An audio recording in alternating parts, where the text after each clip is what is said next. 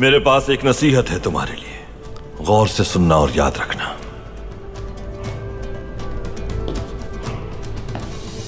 उस जंग के बारे में मत सोचो जो तुम जीत नहीं सकते कभी। क्योंकि उस जंग का नतीजा सिर्फ़ तुम्हारी शर्मिंदगी होगी और कुछ नहीं। अब किले में बैठकर इंतज़ार करो पैगाम का।